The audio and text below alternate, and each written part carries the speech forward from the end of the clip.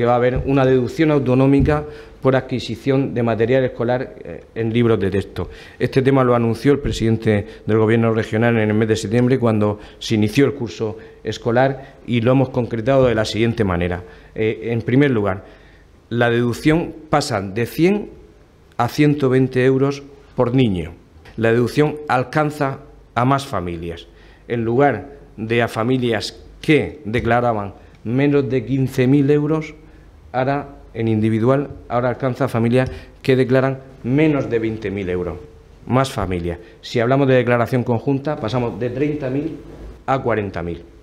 En el caso de familias numerosas, los números son más importantes y también pasamos de 25.000 a 33.000, en el caso individual, de 40 a 53.000, en el caso de declaración conjunta. Por lo tanto, hay un alcance mayor de esta medida y aparte por niño ahora se va a desgravar 120 euros por cada niño.